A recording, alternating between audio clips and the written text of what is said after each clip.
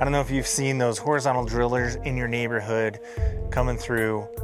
What they're doing is installing fiber optic cable through your entire neighborhood. And it just happened in ours, and we're going to install a fiber panel on the interior of our garage so that we can have a clean install once they come and put in all of their equipment. So first thing we're gonna do is we're gonna set our location of our box. Directly on the opposite side of this is where all of our demarcations land from the other internet providers.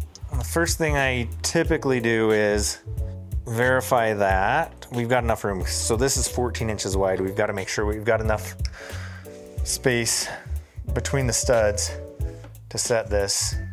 We've got a stud here that this box is set to, and obviously the electrical panel, there's a stud right here for it to attach to because these just sit between those studs. So we don't want to cover up this because we're still going to use this for our sprinkler box. So we'll probably put our panel just above this.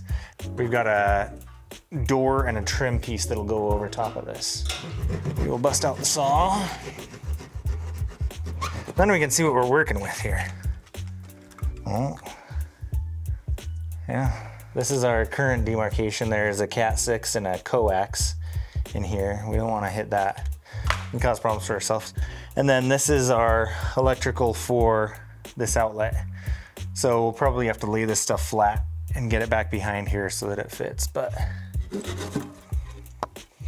there we go. So we've got to be able to drill a hole in the top plate over here so we can get our conduit through that we've been working on getting. So we did not have the right size bit, so we're just gonna go ahead and use one, two, three extensions to get it up there. Ah! We did it. So you see here and down here are where the old um, demarcs were kind of poking out of the wall in two different spots. And so what we've done is now we've got a conduit directly into the box.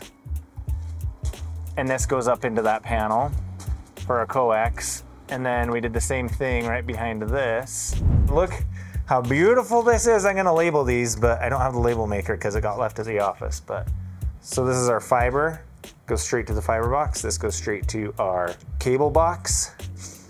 This goes up into the attic for our new demarcs that are gonna come from our panel. We're gonna go pull those next. And here's our power.